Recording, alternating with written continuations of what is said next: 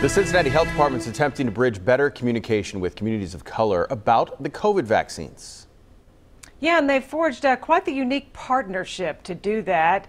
WCPO 9 News reporter Jasmine Miner joins us live this morning with uh, what they're doing and uh, with whom to make sure everybody gets that shot. Jasmine.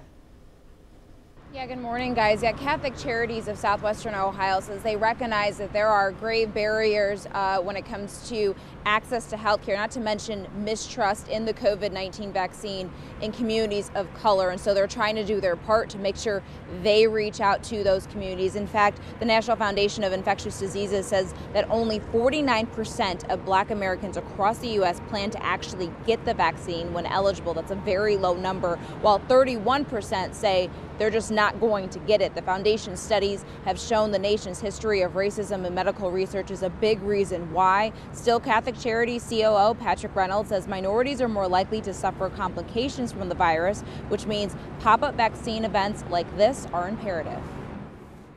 We're really concerned about the disproportionate effect that COVID 19 has had on low income, minority, and immigrant communities, um, especially locally.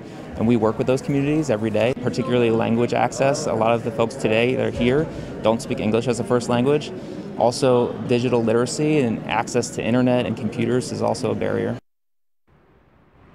Well, over 200 minorities were able to get the COVID 19 vaccine on Monday. Catholic Charities says they're going to continue doing events like this, but for right now, there are no um, actual plans in place. I'm reporting live. Jasmine Miner, WCPO 9 News.